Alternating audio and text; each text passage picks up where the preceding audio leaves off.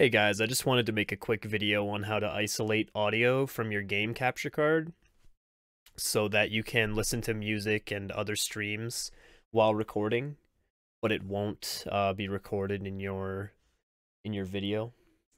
Uh, so the way I did it was if you go to settings in OBS, output settings, if you change it to advanced, you can change the audio track that's being recorded or streamed I have both recording and streaming set to 2.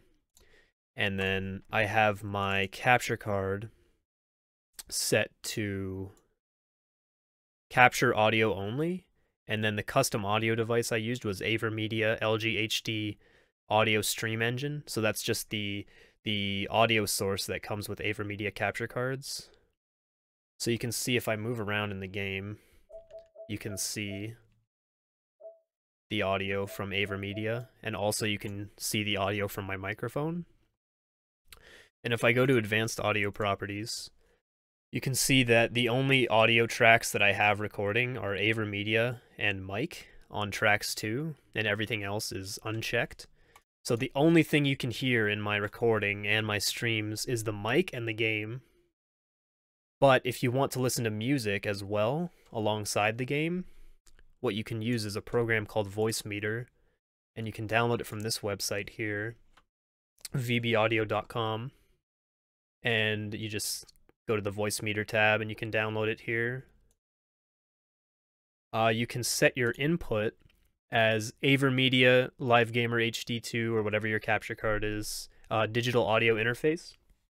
And then the output, you want it to be MME speakers for some reason, when you use WDM speakers, it doesn't work. It mutes everything except for your game audio, but with MME speakers, it does work.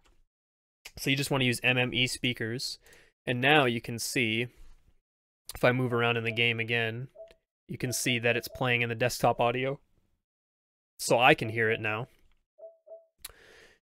Also, if I was to open up a YouTube video here on the side,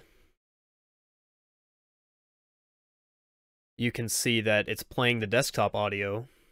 So I can hear this, but you can't hear it in the recording because only tracks 2 are being recorded and desktop audio is unchecked.